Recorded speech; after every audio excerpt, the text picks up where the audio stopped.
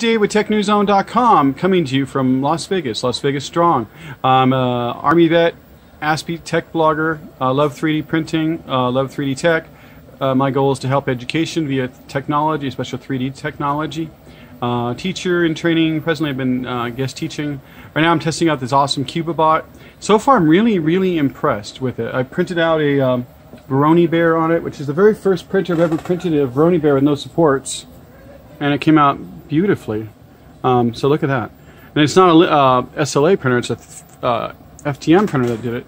Right now, I'm printing out a Furling Tech 3D um, filament holder to hold the Filament Tech 3D filament. It looks like one of those, a blue one. That was printed in Storm 3D. This one's printed in Mamarubot Natural PLA.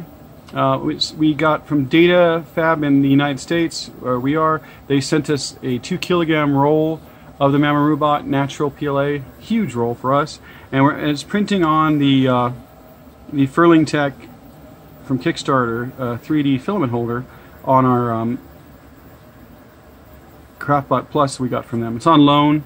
Um, it's pretty nice. We're going to be also uh, testing a few other things coming soon, but right now we're messing with this one, we still have the Geeetech E180 as well, um, which I'm actually testing out the Furling Tech 3D PLA. Um, but they're interesting. Uh, they're the ones with this new mechanism for uh, keeping the filament in line, and also the filament, these little miniature small rolls, and then also they have the little holders that they have to hold the 3D uh, filament. So, but right now uh, on the Craftbot, my bad, uh, it's printing out the Furling Tech uh, filament holder, and this printer's been doing an awesome job. I print out this little see this giraffe. That's our lovely Snapmaker. Right now, I'm using the Snapmaker mostly for lasering, laser engraving. It does an awesome job with 3D printing and laser engraving, but since we have the big one right now, I'm using that one for 3D printing, the Geeetech for printing, but this one for um, the lasering at the moment. This little blue giraffe is also printed on the Craftbot Plus. Uh, Craftbot. Um, I didn't think I used any supports, so I might have. Uh, it's in Storm 3D Blueberry PLA. I of course got this from Thingiverse. The Furling Tech model I got from Furling Tech.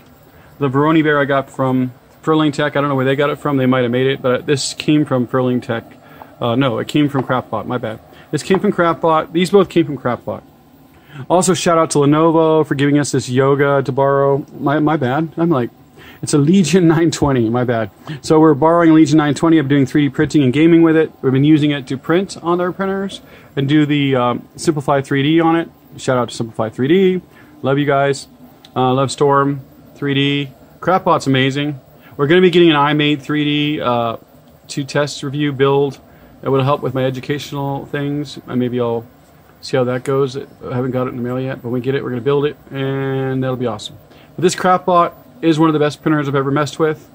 It prints beautifully. It doesn't mess up that much, hardly ever. All 3D printers mess up some, but this one's beautiful. The quality is just like over the top.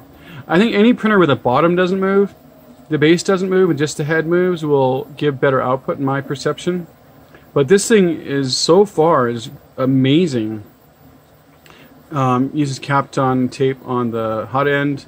I mean, on the heating bed, heat, heated bed, and then also these little these little things unhook, and the whole plate comes out, so you can take the, the objects off easier.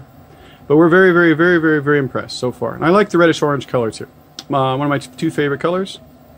So, uh, very awesome printer. Of all the printers I've so far tested, uh, the Geeetech's doing a good job. The Snapmaker does a good job. Uh, my son's Tiertime Upbox Mini 2, we've had it for a long time. Uh, works fairly well, but this Craftbot Plus is amazing in terms of quality. Uh, ours is. I don't know how other ones are, but the one we have has not let me down at all. And it's got a heated bed. You can do PETG, you can do PLA, you can do the ABS on it. There's a little adapter you can get from Thingiverse to let you do uh, flexible, which I haven't tried that yet. We will, but we had this on loan for a while. If I was rich, I'd buy it uh, but it's pretty uh, awesome. Dave with TechNewsZone.com in Las Vegas, coming to you April the 16th, 2018, talking about a few of our printers and showing off the Craftbot printing the Furling Tech 3D filament holder. Signing out. Later.